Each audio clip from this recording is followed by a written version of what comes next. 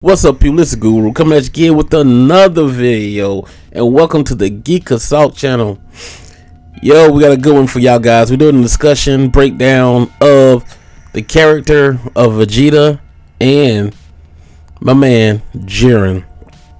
Um, let's get right into this, man. Um, I'm spawning this off of the last episode of Dragon Ball Super. That would be episode 126, and I'm bringing the uh, Jiren's character is brought into question by the end of the episode. If you haven't seen already, uh, this will be spoilers. So if you haven't seen 126, you're probably gonna need to go check it out and uh, come back to this video. So um, you've been warned.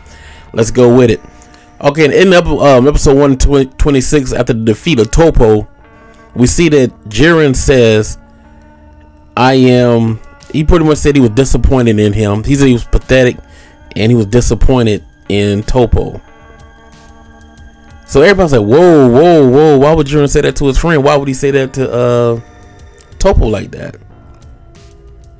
And it wasn't a it wasn't a uh, it wasn't a direct show of what his character was in a negative way. It was the complete opposite of what a lot of people are saying about him. Some people said it was a dick move, he being a jerk. Why they said, now they saying Jiren's evil. And it's not nothing of the sort. This is why he said it. Jiren is a man of principle. He has he walks he has a he has ideals that he lives by. He has a code that he lives by. Like the Bushido. He's a warrior. The samurai code. There's some things they don't violate. They stand by a certain amount of rules and they walk that path. You know, some people say it's the way of the warrior. Now, the ideal of the justice, uh, the justice troop was justice. And some people say good, morality, whatever, but you know, morality can go either way. But justice is justice, and that's what the main principle that they their crew stood upon, and is what they preached all the time. You remember Jiren always dabbing on the principle of justice. And Jiren was about that too. He was fighting for being just. So just Jiren was looking at himself as a just person. So he can't go there. So if he strayed from that, he's outside of his way he's supposed to be living. You know what I'm saying? So he's gonna be against evil and he's gonna be against injustice. That's the man who he is. That's his principle. That's his way of life. That's the walk he walks. Now, what did Toppo do? When his back was against the wall, he stated, It is not about justice no more. And he decided to become a god of destruction. So, what did he do? He turned his back on his ideals and picked up a new set of ideals in order to gain power. And this the power he was going to gain was for his survival in somewhat way that is a selfish cause. But people do the first law of nature for anything is so is so to survive right? That's one thing is to survive. Now he picks up this man to gain this power boost he throws away his ideals to become a god of destruction. Now not being now he said i am beyond I don't know if he said good or evil or whatever, but he said now he's on God level now. He's going to vanquish his opponents. Even though they're not evil, he's going to vanquish his opponents by throwing away his ideals to gain this power. And in doing so, he still was defeated. So what did Toppo gain? He didn't defeat anybody. His opponent's still standing there he threw away his ideals and he lost. The ideals that he stood by, his crew stood by, and Jiren stood by, he threw them away for the sake of power just to survive, and he still lost. Now Jiren looks at him because me and Jiren all said, "So you made up your mind." So Jiren was always stronger than Toppo, they had to come to Jiren at some point in time and say, "Do you want to be the next god of destruction?" And he saw God of destruction as not a just cause or walking in a, the path of justice. That's why he turned it down. That wasn't the, the, the God of destruction course of life or way of life was going to co- was going to go against what he thought was justice. Because it's going to come a time if you're a God of destruction, you're going to have to destroy the innocent. You're not a protector no more. You're not looking for justice. You're doing a job, and your job is to destroy now. That's not always justice. Even if you destroy some evildoers, but what if you got to destroy a, a, a, a planet of good people just because they were weak? Just do your job. Is that just? So he said, so he's had to turn it down, and Toppo's the next strongest, and Toppo was turning it down, but then all of a sudden, he, so he had some kind of struggle there. All of a sudden, he decided his back push against the wall. Now I want to be the god of destruction. I'll accept this power because I'm losing. I can't defeat this enemy. Now, flashback to Vegeta. When he battled Vegeta, Vegeta fought him one on one. Win, lose, or draw, his own power. And he told Vegeta, You cannot beat me. Because your fist, you have an arrogant fist. And Vegeta said that is true. You know, because the arrogance come with his race. That's who he is. That's the same pride that's in him. And it comes across as arrogant. And he's not going to turn his back on his people. So if it's being arrogant comes with his race, he's going to represent his race to the whatever is fit. So he never went back on who he was and the path that he walks. Vegeta's always had pride in his people. He always said he represented the Saiyans. When you see him, you see a Saiyan. It wasn't a job for him to be the prince. He is the prince. He is a Saiyan. He walks it, he talks it, he lives it. And whatever comes with being a Saiyan, that's who he is. That's his ideals. That's his walk in life. That is his code. And then Vegeta with his own power, he is the only character. Once again, I repeat for all you Goku fanboys, Vegeta is the only character to put down Toppo. I mean, to put down Jiren. He put Jiren down with the final flash. Dick in the dirt. No ultra, no ultra instinct. He didn't even have his new power up yet when he did it. He put it down with his own pride, his own strength. He dropped Jiren. Dropped him.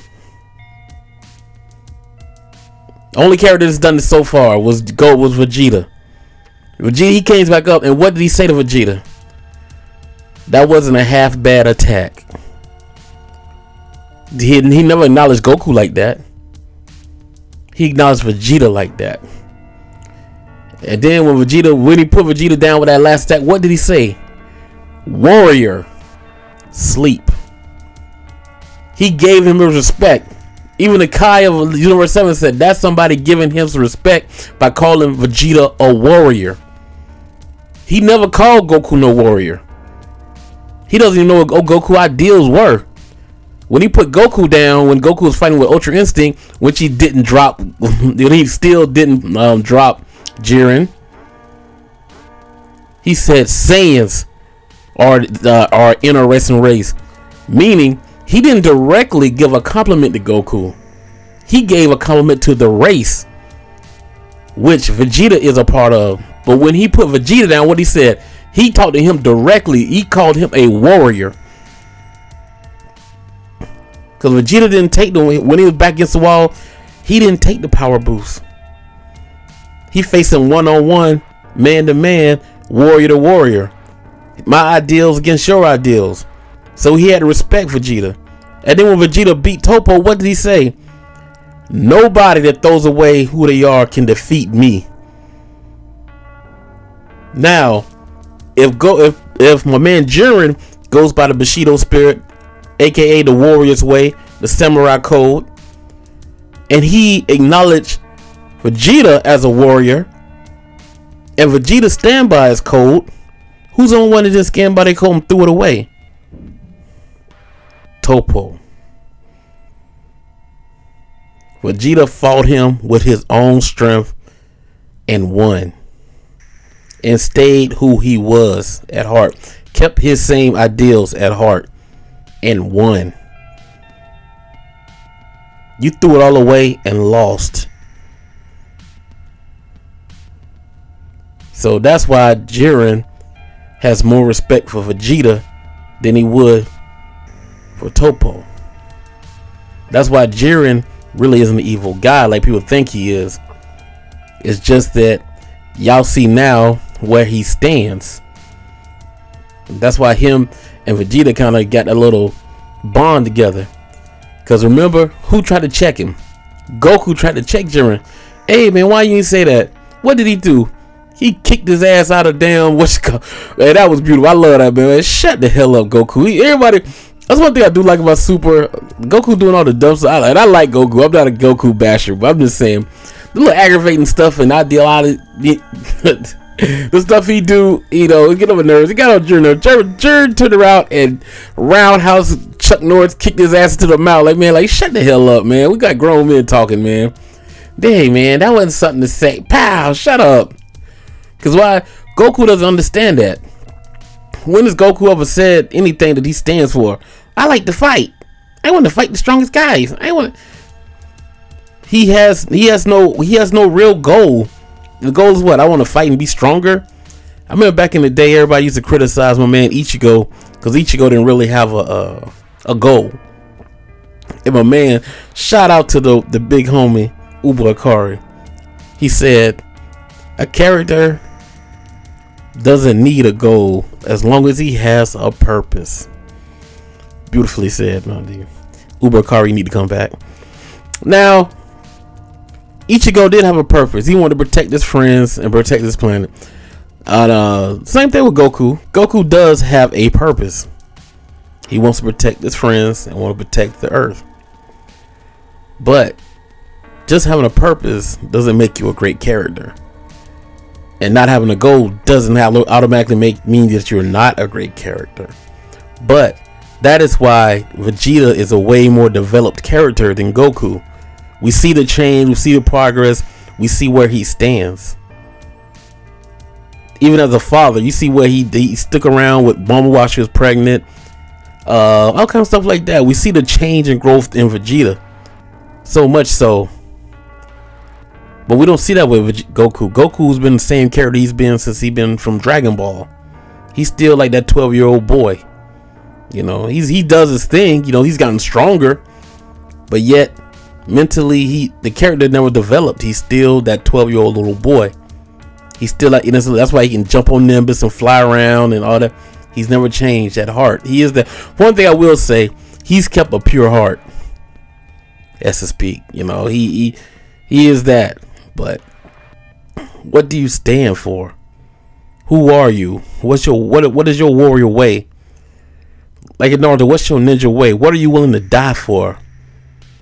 What's your what's what you know what I'm saying? You gotta have a man gotta have something, not just a purpose.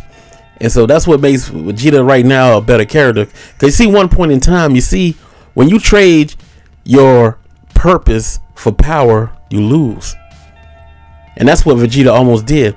When he became Majin Vegeta, he knew that he could, he wasn't strong enough to beat Goku. So what did he do? He allowed himself to get taken over. But what, what did he say? The only thing I will say about this is that when he became Majin Vegeta, Vegeta said, You can take my body, they can take my name, but you'll never take my pride. He couldn't control Vegeta. You know, so it wasn't all the way. I just gonna flip all the way over here. You know what I'm saying? And even with the power boost he got from Majin Buu, he didn't get defeated by uh, Goku. You know what I'm saying? He did, he did lose the well, destroyed himself uh, with Majin Buu, but he did that on his own terms. And once again, he did that to save his family. You know, that was him. He said, I do this for Bulma, and he did it for Trunks. That's what he said it for. He didn't even do it for his own pride. He did it for his family. So, yo, so that's what I'm debating. I don't think Jiren's evil, and um, we don't got a little bit left to go. So maybe in the, uh, in the manga they'll describe more about what is his true reason, why has he walked this path, and what is his true motive, and what is his wish. Because the only reason he entered the tournament is for this wish. So one has to think that whatever this wish is, it's got to be beyond justice. Because at first he wasn't going to even enter the tournament because he felt that it's not just for him to survive killing other innocent people or putting other people at their demise is my survival. So he said, if we if we get a race, that's just my fate. That's how just Jiren was. And he said this in the manga, of course. We never we never got this in the anime. But that's what he said. He said it was my turn to get destroyed. That's just my fate. But then the wish was brought up. Then he changed his mind. So one got to think, what does he want so bad that he will throw away? Why well, gonna say throw away? That he'll give up his ideals of what he thinks is just and unjust in order to wish for it. So that's when we can actually call him a hypocrite. But until then, we don't know. So this is my breakdown of uh Vegeta, Jiren, the Bushido Spirit Warriors, and uh yeah, Jiren's not a bad guy, guys. So check me out. So if you haven't already, hit the subscribe button, notification button, all that good stuff. Like and subscribe. Uh, we got new heat each week, so be on the lookout. We got a whole bunch of new content coming to the channel. Yeah, so be on the lookout. This is the Guru. Holla at y'all later. Peace.